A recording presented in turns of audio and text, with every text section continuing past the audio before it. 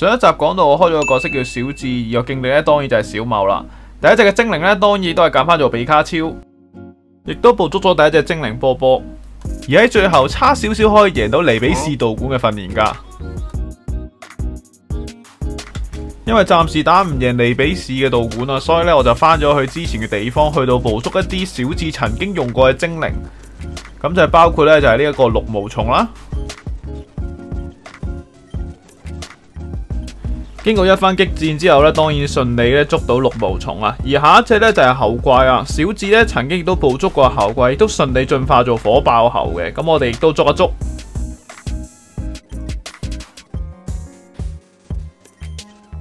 好，睇下性格先啊！綠毛蟲係休閒，冇咩特別嘅。哇！喺火爆猴竟然系呢一個固執性格啊！基本上咧係嘅大獎嚟啊呢一隻，但係暫時咧我就唔打算會用佢嚟打利比士嘅道馆住嘅。而呢一個嘅進度咧係冇辦法通過去到下一個道路嘅，所以我呢個時候咧就先去咗睇下啲博物館、化石博物館先，相信大家都未必會睇噶啦。咁入邊咧就有呢一個化石飛龍嘅化石可以睇到啦，比較都少見嘅。然之後就係镰刀盔嘅化石啦。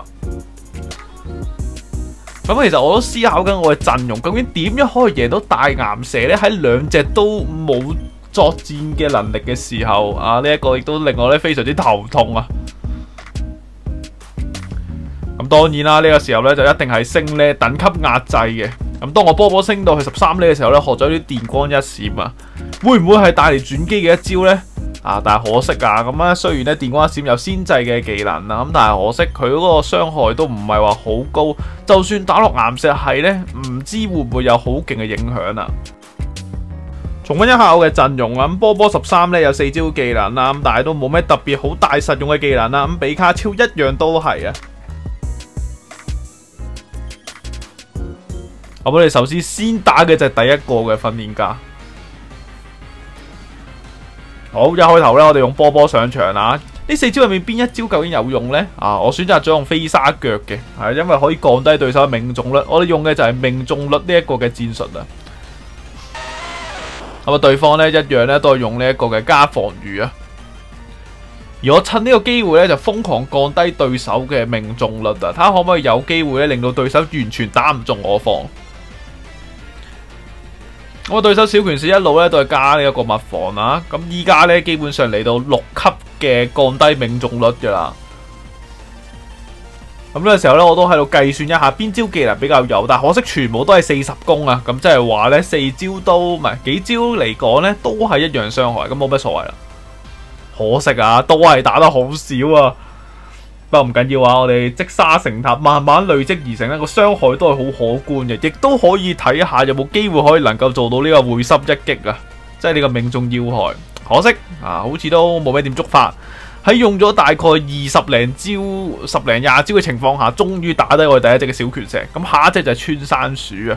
咁穿山鼠嚟講呢，佢冇岩石，係只係帶有地面屬性啦，所以其實都比較易打嘅。啊咁啊！波波使用呢個暴風啊，獵暴風啊，輕輕鬆鬆就打到差唔多近一半。咁對手咧再次使用嘅就係加密防啊。好，呢個時候咧，我都派出呢一個嘅就係比卡超啦。咁啊，比卡超出嚟咧就係為咗咧睇下有冇機會打得高傷少少嘅。咁啊，可惜都唔算話好高傷咁，但系都唔緊要啊。我哋可以慢慢打嘅。咁對手一樣繼續加密防啊。誒，呢個時候啊，命中要害出現啊，各位。啊！呢、這個命中要害咧真係好關鍵啊！如果小拳石嗰度多啲出現呢，基本上就非常之易打啦。咁喺最後呢，用埋呢個電光石火，好咁啊！穿山鼠呢就可以成功收走，成功贏咗我哋第一個嘅競啊，第一个嘅道館訓練家啦。好，翻 PC 回完血之後呢，面對住呢就係呢一個最強大嘅道馆啊，系啦，我覺得。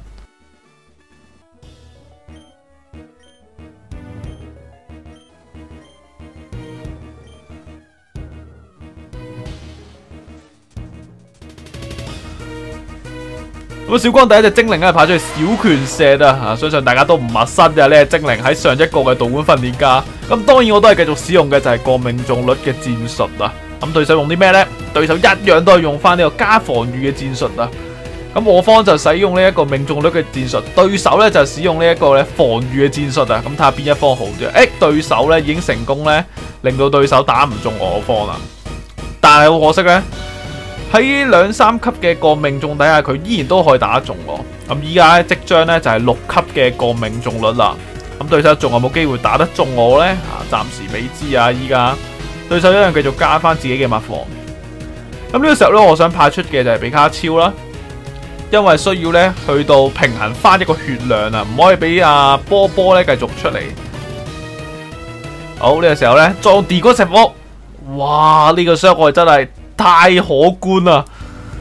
咁基本上呢，我哋喺呢一個嘅戰局裏面呢，係大概用咗廿幾三十招嘅地嗰石火，就終於可以成功打到佢死亡啦。咁我方嘅比加招其實都差唔多半死啊，因為就算降咗命中底下呢，對方依然有機會可以擊中我哋啊。经过细心思考底下呢，我决定咧换走呢一个比卡超啊，因为换上波波去到平衡翻，亦都咧再次采用飞沙脚战术嚟到降低对手命中率。而对手小刚派出嘅呢，就系小江嘅大岩射啦，可惜啊！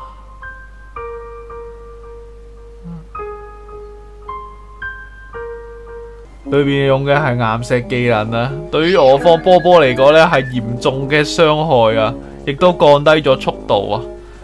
但係呢，喺降低咗命中底下呢，佢打唔中，但係第二回合打中咗啦。至於比卡超，因為頭先呢面對住呢個小拳石嘅時候呢，都俾佢打咗幾下，所以呢血量不多，最終呢，俾大岩石成功呢帶走咗，我哋呢，就戰敗咗啦，各位。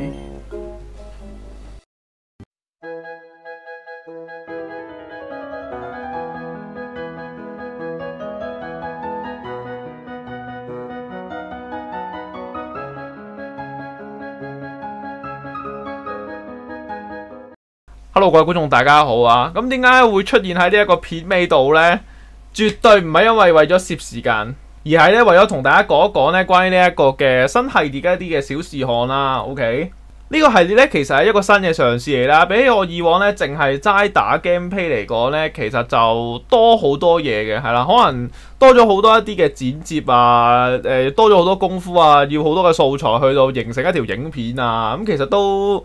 誒、比起以往唔同啦，即係比起以往嘅話呢，就係、是、單純係一個我喺度玩呢一隻 game 嘅過程啦。但係呢一個嘅小智火紅版呢，就係、是、誒、玩完之後，我再用一個配音旁述嘅方式咧，去到呈現翻俾大家睇。哦，究竟呢個角度係點樣樣呢？係啦，咁呢一個呢，其實都係我自己一個